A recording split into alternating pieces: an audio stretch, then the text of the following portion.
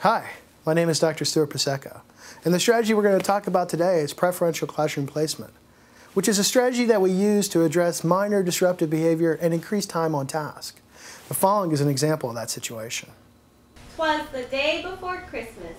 Olivia and her family had been out all morning, busy with last minute shopping. Olivia was exhausted, yet there was still so much to do. Reese, will you put those away and pay attention? Olivia wanted to be even more of a help.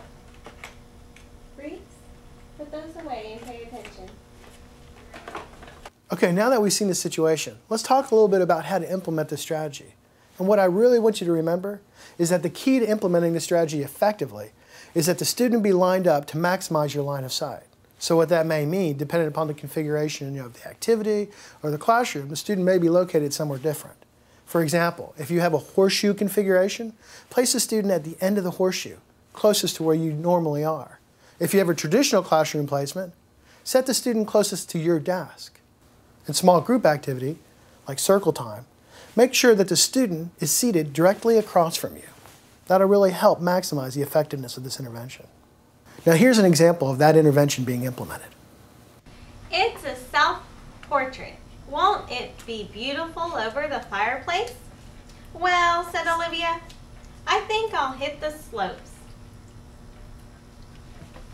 Is that what your self-portrait will look like?